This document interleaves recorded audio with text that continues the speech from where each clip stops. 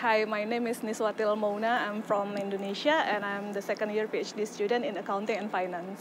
What inspired me to do the PhD in accounting and finance is because uh, I found that there's a gap between uh, the practitioner and then the academician. My main task is creating a tax policy. I found that we are not really fully equipped with the uh, required skills in conducting the empirical analysis. I want to bring the knowledge back to uh, practitioner.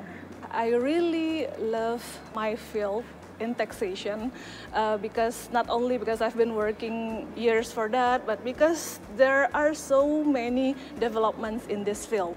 For example, the multinational enterprises that I research now, all of them are doing the tax avoidance in different ways, in different uh, methods, and that fascinated me. How we create one regulation and then there's always a way for the multinational enterprises to avoid paying the tax bill. So that really amazed me and that's what I love most about doing this research. There's always a stigma that the PhD in accounting and finance are male dominated, always related to calculation and numbers, but that is not always the case. There are so many topics in here. For example, we also deal about the sustainability issue, uh, accountability issue, education in accounting and finance. So there are many topics that can relate us not only as a female but uh, in a broader context of our daily life because we all need accounting and finance for our daily lives. So if you are passionate enough in this field